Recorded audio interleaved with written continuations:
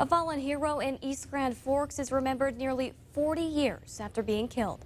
Ryan Laughlin has more on the memorial ride for Officer Kenneth Olson. Just, he was a great guy. He's a really great guy. Kenneth Michael Olson was loved and respected by many. And today, 37 years after his death, the Iron Pigs, a motorcycle group made up of current and former law enforcement officers and firefighters, honor him.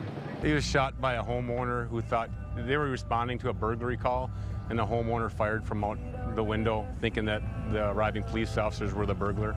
Today marks the third annual Kenneth Olson Memorial Ride. All these years later, we still remember one of our fallen, and we honor him every year at this ride and that scholarship. The Kenneth M. Olson Scholarship is awarded to a student pursuing to be a law enforcement officer, firefighter, or in emergency medical services. The scholarship recipient is chosen by Olson's wife, along with three people that worked alongside him. One being his partner that was with him the day he was killed.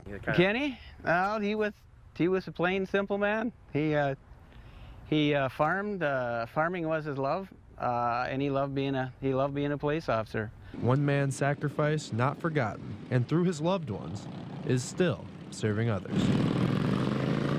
Reporting from East Grand Forks, Brian Laughlin.